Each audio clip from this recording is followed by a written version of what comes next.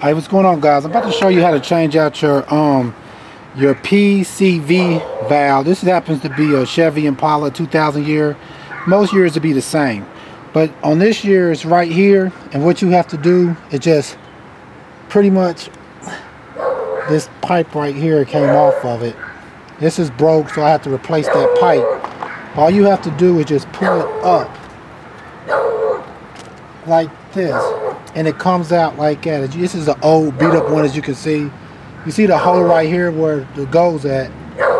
Next what you want to do, your new one will look like this pretty much. This will be your new um your new P yeah your new PCV valve will look like this. You just want to push it back down to the hole right here like that. Make sure it's all the way down. Then you want to take your pipe and connect it back on. We're actually going to be replacing this pipe right here. To replace this pipe, you normally just have to pull this end off like this to come off. You start another one on there to have a new one on.